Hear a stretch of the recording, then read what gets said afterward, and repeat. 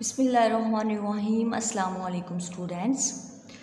फो class आज हम जो है वो स्टार्ट कर रहे हैं। ऑब्जेक्टिव हमने करना है। एक्सरसाइज है हमारे पास ई e और चैप्टर नंबर है टू क्वेश्चन नंबर वन जो है, ये ज़रा देखें फिल इन दी ब्लैंक्स खाली जगह पूर करनी है हमने।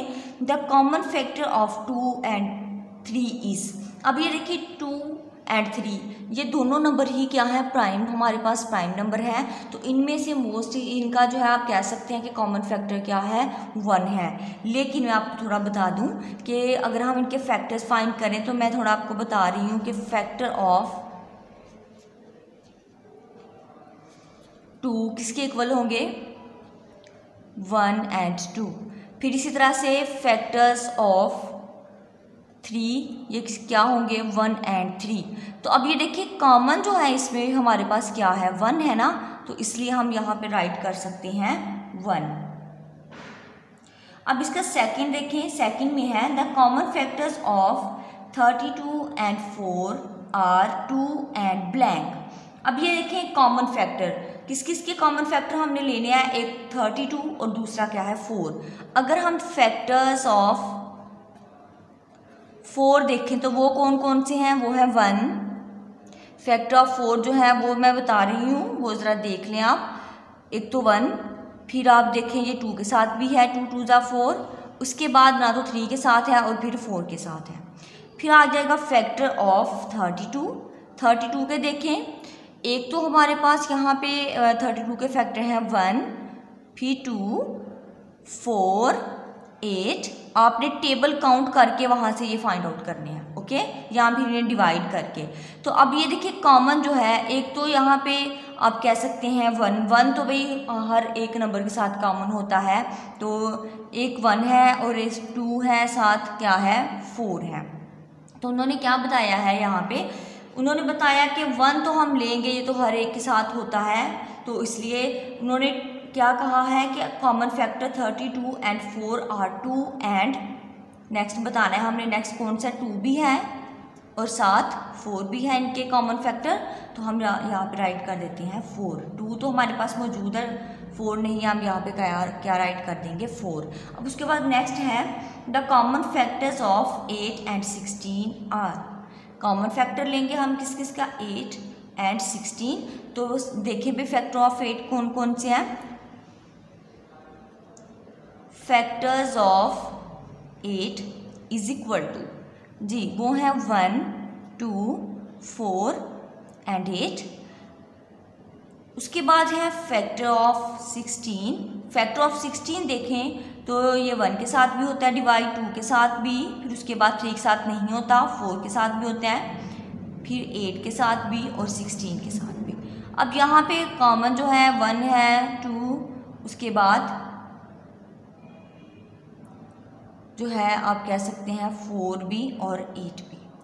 अब यहाँ पे हमने जो बताना है कॉमन फैक्टर वन तो कॉमन है, ये तो हम सब जानते हैं, लेकिन इसके अलावा हम जो है, वो यहाँ पर राइट कर रहे हैं, इनके कॉमन फैक्टर वो हैं टू फोर एंड एट जी।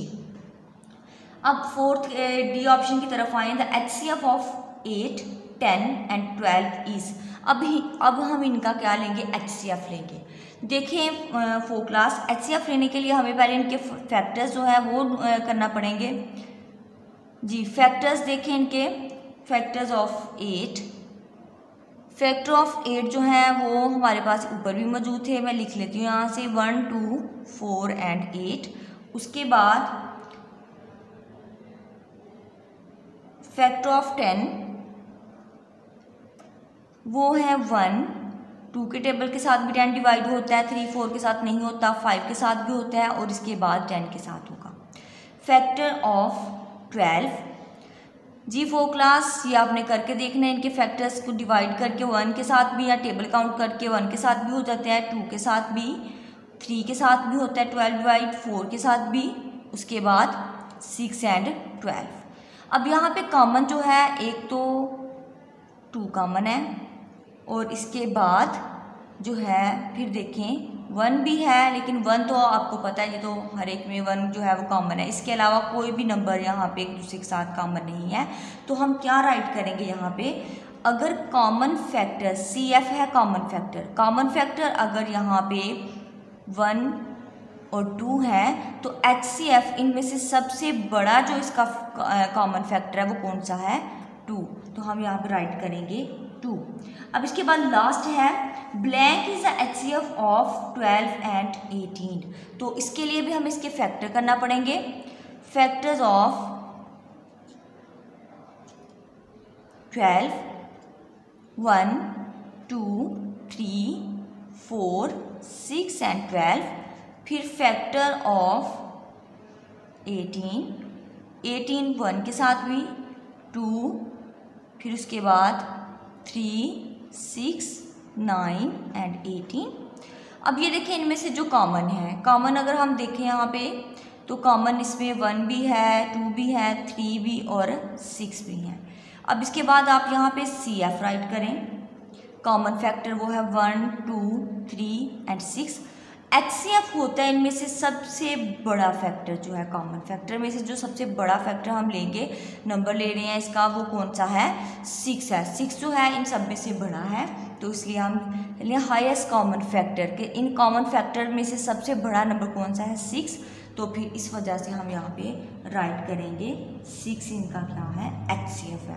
तो फो क्लास आज के लिए हमने जो काम किया है वो फिलअप्स हैं। तो इसी तरह आपने जो है ये कॉमन फैक्टर और एच सी एफ़ जिस मेथड से हम फाइंड आउट करते हैं, इसे अपने जहन में रखते हुए आपने question number two and three question number two जो है ये ट्रू फॉल्स है। क्वेश्चन नंबर थ्री जो है वो अपने करेक्ट आंसर जो है वो, ये देखिए क्वेश्चन नंबर टू जो है ये ट्रू फॉल्स है। और क्वेश्चन नंबर थ्री जो है, इसमें आपने जो करेक्ट आंसर है, वो फाइंड आउट करेक्ट आंसर ढूंढ के आपने उसे सिलेक्ट करना है। तो ये आपने खुद करना है। ये आपका होमवर्क का काम है।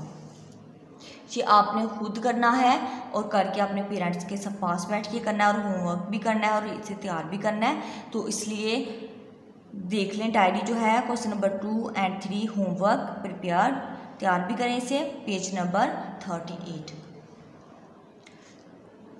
अल्लाह हाफिज़